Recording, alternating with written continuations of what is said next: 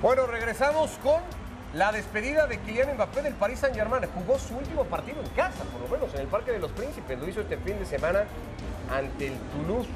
Partido que el equipo parisino terminó perdiendo. Como local, Mbappé adelantó a los suyos, pero después fue derrotado. Le hicieron un homenaje ahí, un mosaico, aunque también hubo ratos en el partido en donde fue abucheado. Kylian Mbappé, tras ese anuncio que hace pensar a todo el mundo que su destino, Paco, está en el. Sí, bueno, y ahí está. Y ahí está. Eh, y sigo pensando que este jugador no hemos dimensionado hasta dónde puede llegar. Ya veremos en unos años más. Hoy creo que termina cumpliendo su paso por el Paris Saint-Germain con creces, con goles, por mucho, eh, por rendimiento. No ganó la Champions, pues no, no, no, no ganó la Champions, pero ahí creo que no es totalmente la responsabilidad de Mbappé. Y va a buscar nuevos horizontes y estando donde creemos que va a estar en el Madrid, va a ser un trampolín inimaginable. Va a llegar a alturas insospechadas.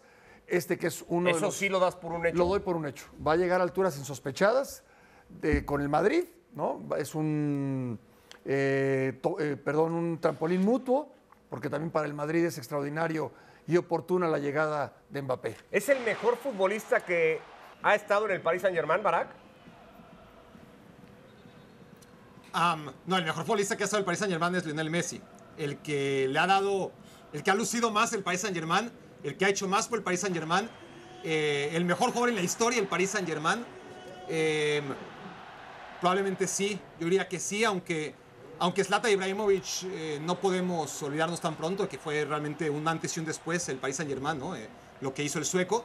Y antes que, que George Weah gana un balón de oro ya en el Milan, pero sobre todo por lo que hizo el Paris Saint Germain en su última temporada este, cuando llega al Milan. Yo, yo- yo creo que hay competencia, eh, podríamos hablar incluso de Cavani, pero si Ronaldinho, tomamos en ¿no? cuenta cómo arrasó, cómo fue el líder de goleo una y otra y otra y Ronaldinho otra y otra y otra vez ¿no? todos los años. Ah, no, sí, sí, sí. Bueno, Ronaldinho, Sí, digo, sí, por- Ronaldinho llegó, De- sí. No, no, al contrario, Ronaldinho se disparó en el Barça. Era, era un jugador de.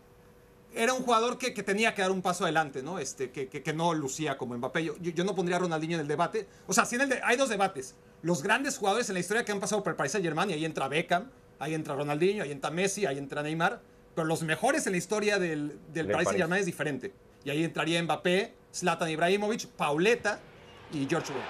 Pauleta, claro, el portugués, claro. A ver, Richard, ya que Barak hace la diferencia de cómo hay que formular la pregunta, gracias Barak, en esa Oh, bueno. reformulación de Barak es... Mira que traté de ser No, está bien. políticamente correcto. No, está bien, está bien, está bien. Eso no es, básicamente, Richard. El mejor de la historia del Paris Saint Germain sí es Kylian Mbappé. Sí es. Sí. Para mí sí lo es. Eh, no es el mejor futbolista que ha pasado por la institución, obviamente, pero Lionel Messi, por ejemplo, no logró todo lo que logró Mbappé. En cierto modo, también por el poco tiempo que estuvo Messi, por, por citar otros ejemplos. Creo que, que Mbappé demostró lo que muchos no demostraron. El Paris Saint Germain, la liga le quedaron muy chiquititas a Mbappé y más bien demoró demasiado su salida. Esa es la diferencia con otros jugadores que llegaron al Paris Saint Germain. No es que se vio muy claro que el club y la liga le quedaron chiquititas. No, a Mbappé el club y la liga le quedaron chiquititas y además él es muy joven. Van que dejarlo ya hace rato. Los ultras van a extrañar más a Mbappé que a Messi, por ejemplo. Sí, claro. No, por supuesto. A, la- a Mbappé lo van, lo van a extrañar en París, sí o sí. Mucho. Por supuesto. En Francia lo van a extrañar. Bueno, eh. ¿alguno duda que vaya al Madrid a estas alturas? Porque eso no está, digamos, oficializado. Pero Yo- ¿hay alguno de ustedes que dude y que diga, pues a lo mejor se va a Anfield, por ejemplo?